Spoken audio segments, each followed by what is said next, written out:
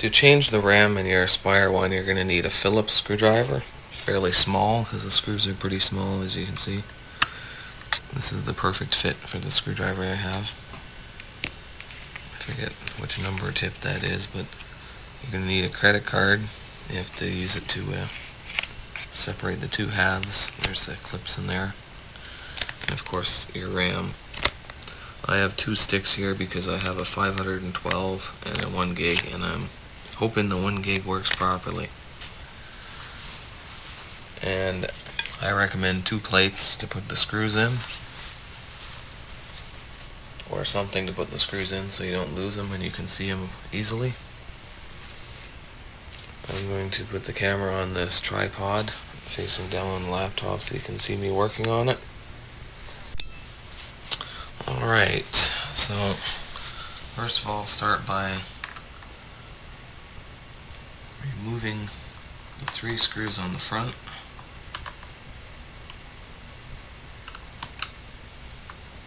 And there's three screws on the back. Which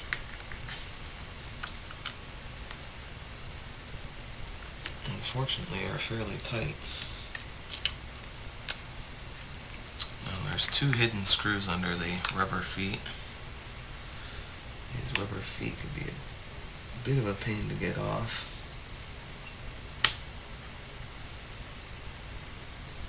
Try to leave the adhesive on the rubber feet, but it's easier said than done. Well, the rubber feet with the screws. sometimes you can put the credit card in here help you get the feet started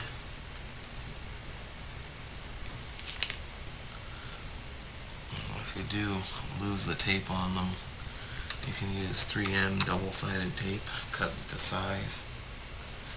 So again just take these screws out too.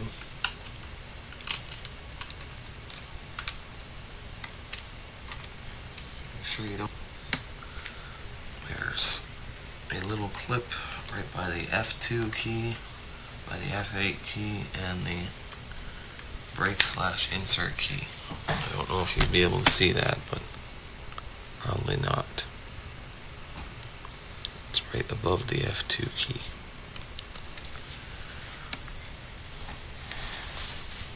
What you need to do is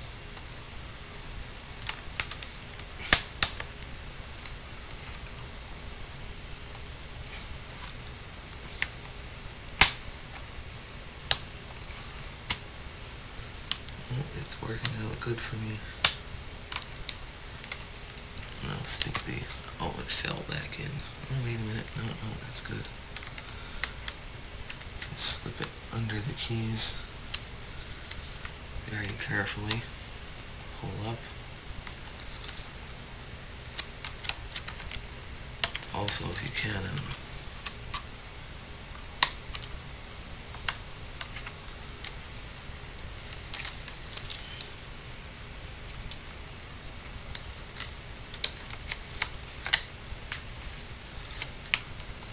Looks some on the side too.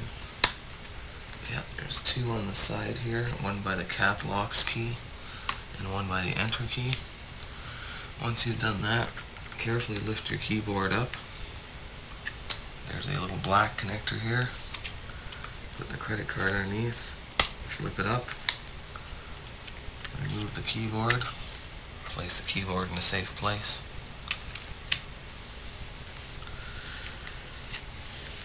Also, there's another one here for the touchpad.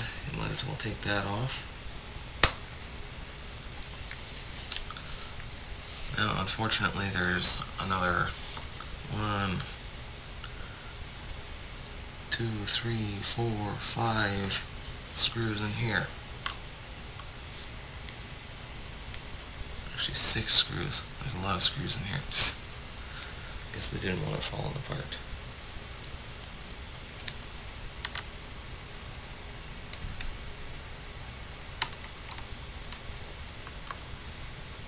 Remove each screw.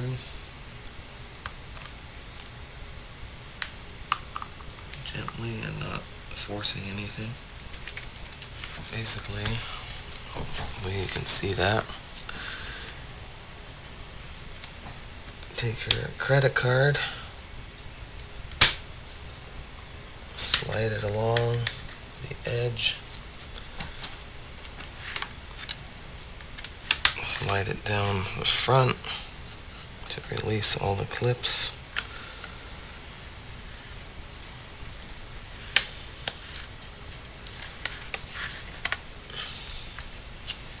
Don't do what I just did, reclipped it.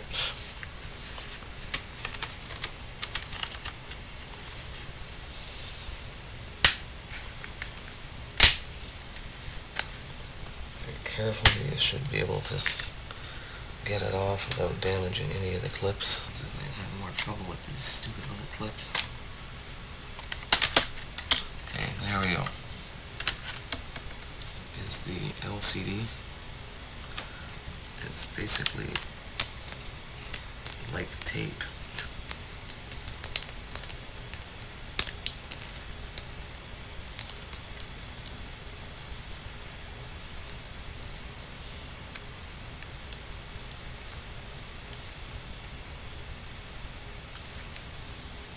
very carefully loosen it off.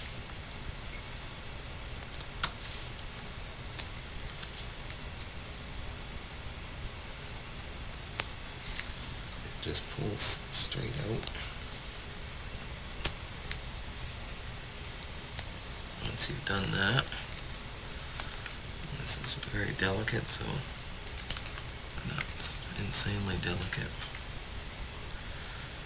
This has got some this tape on here. I don't know why they use this stuff. I guess just to hold the wire down, but anyway, a good place to do, put this is just sort of slip it out of your way.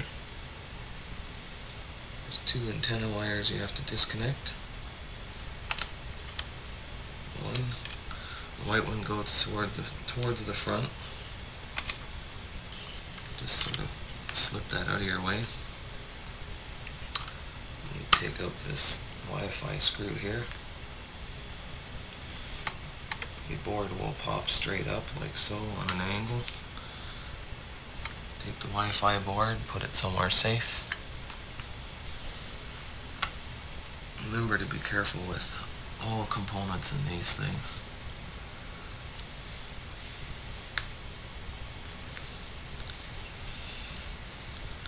Hard drive version is fun. Looks like you have to remove the daughter board.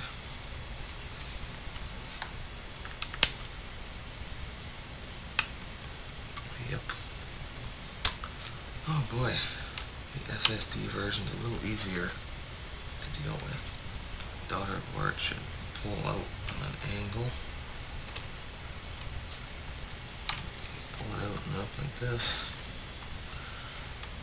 Recommend just to make it easier. Carefully remove the connector there. Put your daughter board in a safe place. This I've never seen a laptop such a pain in the ass to change a memory. Usually they have a little freaking drawer.